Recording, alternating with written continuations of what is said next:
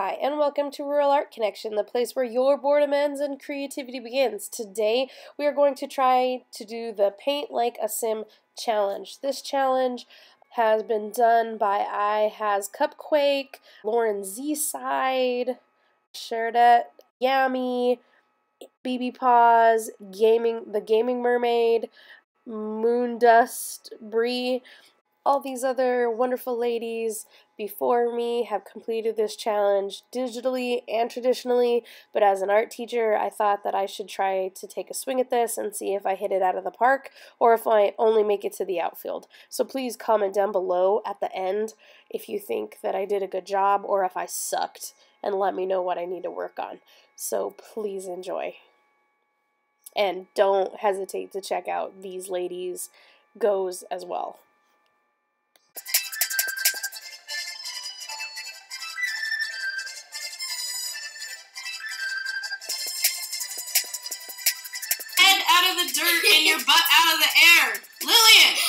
Like look at this chick with her button. Do you see that? Look at her.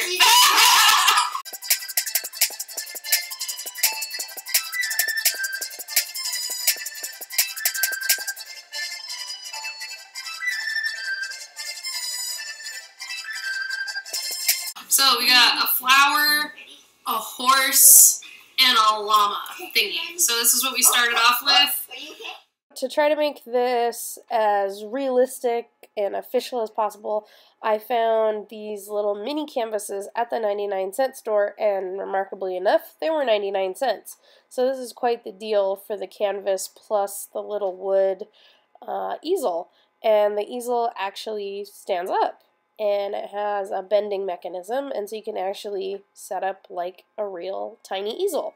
So here we go. Now we're going to start painting our first little painting. And I love recycled palettes. Any kind of plastic, any kind of thing that you can use to recycle, by all means, have at it. I'm just going to tell you right now that this is not an attractive angle for me. um, yeah. So enjoy this angle because the next couple paintings are not going to be at this angle. This beautiful, beautiful up close to my double chin area.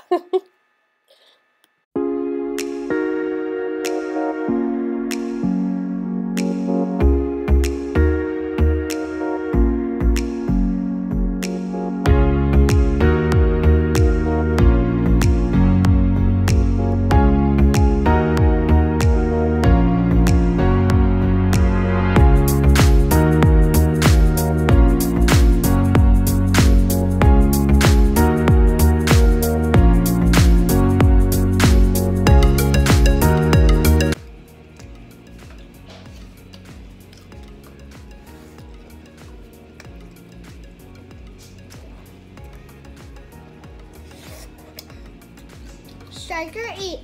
No. Yes. No. Yes. No. Yes. No. Yes. No. Yes.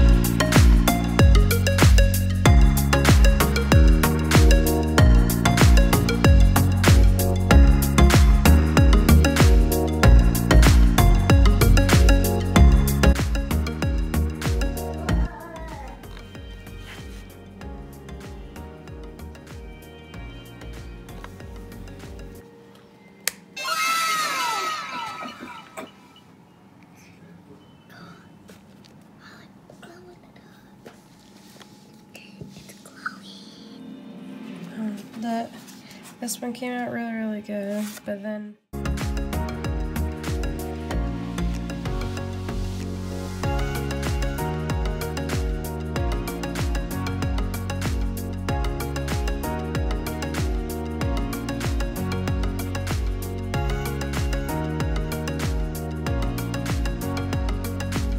So this is the fun glow-in-the-dark glitter glue that I used to create the glow-in-the-dark aspect of these paintings. I got it at the 99 cent, 99 cent store for $1.99. And if you use multiple layers, you can get a really nice glowing effect. But I had to come in and use multiple layers. Uh, one thin coat doesn't quite do it, but after two coats, then usually it's thick enough and dark enough to hold the color. So with my pony, I didn't quite get enough layers down. So as you can see, you can see it glowing with the help of the glue bottles, but it won't really do it on its own besides the eye. Comment down below if you like this glow-in-the-dark aspect that I changed up for these paintings, or if you like the original just classic painting. Also, mine versus The Sims, which ones do you like better? Please comment down below and let me know that you like this video. Like, share, and subscribe. All good things, and we'll catch you in the next one. Yeah. Bye-bye.